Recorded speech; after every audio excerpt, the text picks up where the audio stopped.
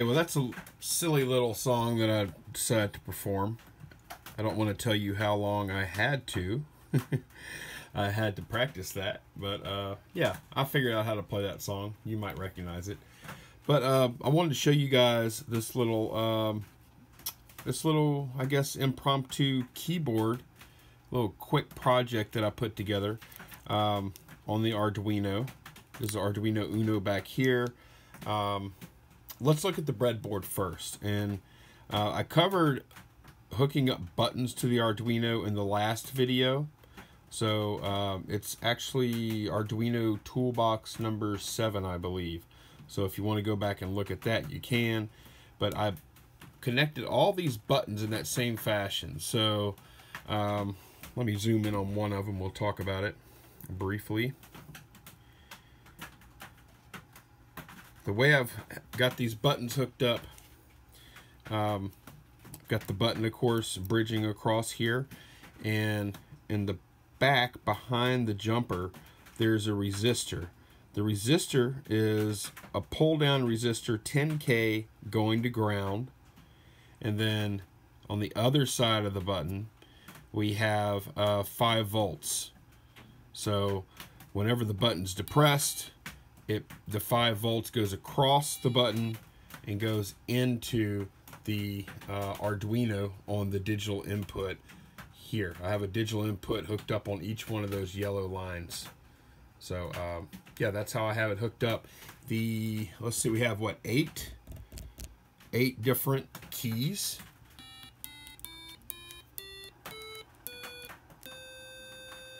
Going to eight digital inputs here. Uh, the other, let's see, what are the other things we have hooked up on this board?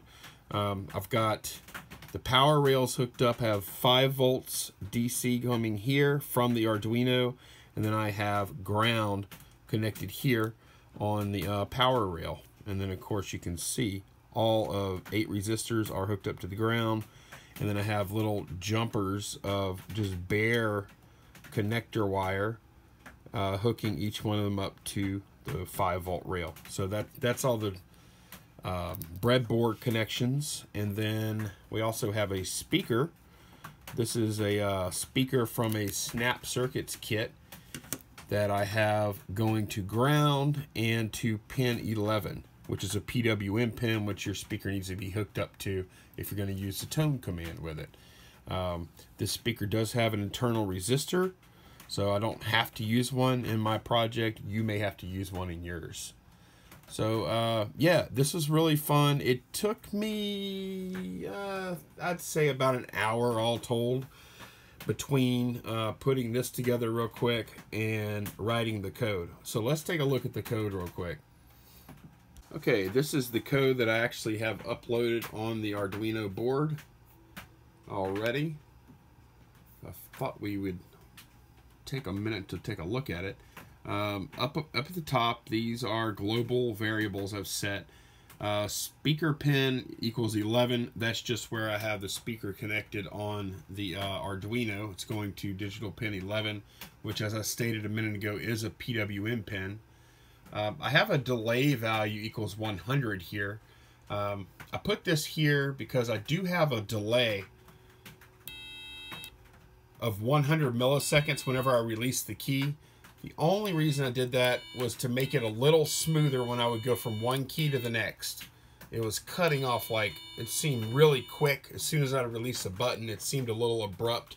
So I decided to make it go a little longer without interfering with the play of the next key.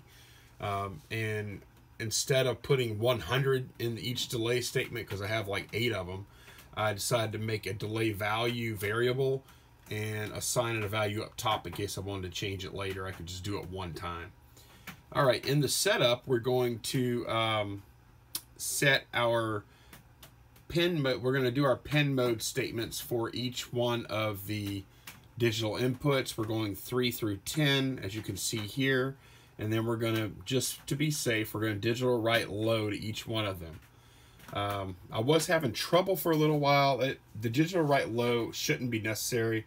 I was having some trouble though at one point, so I tried that to clean it up, and um, I ended up ended up just moving things around. I'll talk about that in a moment. Uh, and then next we have pin mode, speaker pin, setting it as an output. So that's going to be pin 11 where the speaker is. That's everything in the setup. Now, here's the loop. And it's kind of long, but it's really a lot of case statements, case switch statements, which we haven't really talked about before. But uh, let's take a look at the loop. Uh, at the top of the at the top of the loop, I set current tone equals zero. I'll explain that more in a moment. Um, the int current tone is going to hold the value of it's going to hold the value of which button has just been pressed. So if I press this button, it's going to hold 0. I'm sorry, it's going to hold 3, 4, 5, 6, 7, 8, 9, 10. Okay. So uh, we're going to pull each one of the buttons to see if they are currently pressed. So we're going to do a for statement from 3 to 10. And we're going to do an if digital read of I, it's going to read whatever button it's on in the loop, is high, then we're going to make that the current tone. Current tone equals I. All right. And then now it's a real simple program, really. Switch, we're going to do a switch case statement. The switch is going to be current tone, which we set up here. And I have all these different cases. If the current tone is 3, then I'm going to play a speaker. I'm going to play a tone on the speaker pin of 262. And then I have that delay of a delay value there. And then the break, if it if it does execute this statement, if the case is 3, it'll execute these two commands and then it'll break, meaning it'll skip the rest of the case statements because it's already found the case that we're looking for. So um, the, the number is 262, and then case 4 is 294, which is D, and then 349, which is 6. Um, these these numbers I just pulled up from a chart. I looked up um, musical note frequencies. These are the notes in hertz for each one of these cases. So C is 262, D is 294, E is 330, and so on and and then I start over at C again with uh, the last one right here. So, and then I set a default um, of no tone, and then the modifier there is speaker pin, and um, I don't even know if that is running. I don't. I think I, I, I think I'm kind of uh, messing up that case switch statement. I don't think it's running because let's try this. Let's see if it works if I comment that out. All right. Huh? No, it doesn't work. See, if I comment that out, it does. It works exactly. It actually works. Uh, the code works exactly like I intended. If the default is not no tone, then it's going to continue to play the tone of the last button that was pressed. So I do need to leave that in. I'll put it back in now. And then I told you I was gonna. I guess I should. I guess I should uh, put remarks, more remark statements, because now I'm trying to remember why I set int current tone to zero, and I can't not remember. uh, I don't know if current tone needs to be set to zero every time it actually does, okay, yeah, it does need to be set to zero because once a button has been played, then if I don't set it to zero at the top, uh, when it get, loops back around, then it'll still hold that same value. Let's see if that's the case. Oh, I still need to define the variable.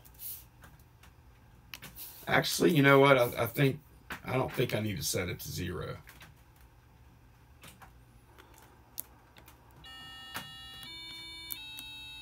Okay, no, that's true.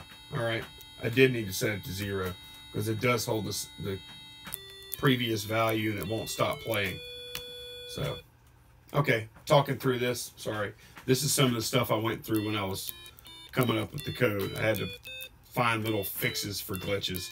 Another interesting problem that I had during this project, um, and I mean, you just learn, and I haven't figured out exactly what was going on yet.